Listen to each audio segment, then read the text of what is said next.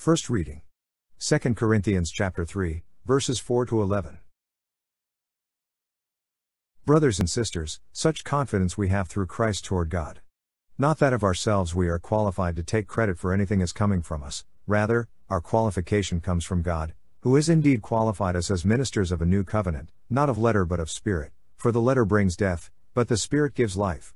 Now if the ministry of death, carved in letters on stone, was so glorious that the children of Israel could not look intently at the face of Moses because of its glory that was going to fade, how much more will the ministry of the Spirit be glorious? For if the ministry of condemnation was glorious, the ministry of righteousness will abound much more in glory. Indeed, what was endowed with glory has come to have no glory in this respect because of the glory that surpasses it. For if what was going to fade was glorious, how much more will what endures be glorious? The word of the Lord.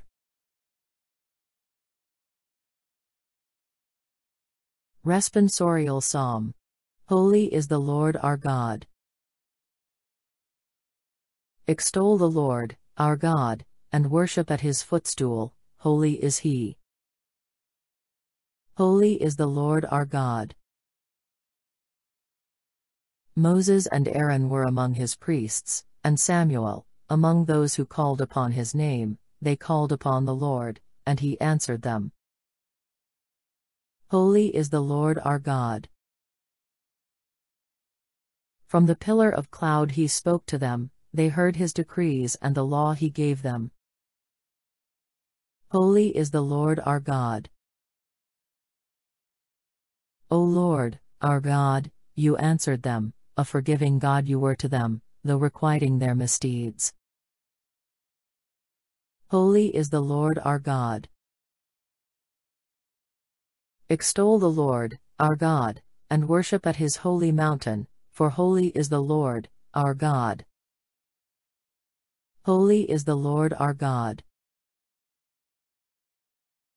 Gospel reading Matthew chapter 5, verses 17 to 19. Jesus said to his disciples, Do not think that I have come to abolish the law or the prophets. I have come not to abolish but to fulfill. Amen, I say to you, until heaven and earth pass away, not the smallest letter or the smallest part of a letter will pass from the law, until all things have taken place. Therefore, whoever breaks one of the least of these commandments and teaches others to do so will be called least in the kingdom of heaven. But whoever obeys and teaches these commandments will be called greatest in the kingdom of heaven. The Gospel of the Lord. The New Law or the Law of the Gospel.